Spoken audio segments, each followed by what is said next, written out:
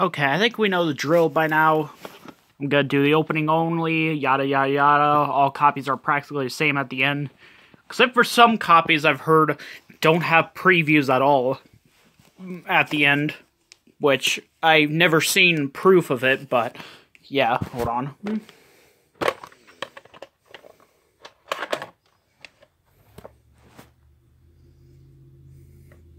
So yeah, there it is. Print day is the 257th week of 1994. Or day, whatever. Okay, jump cut time. Okay, here we go. It's gonna be pretty scary. Again. Mm.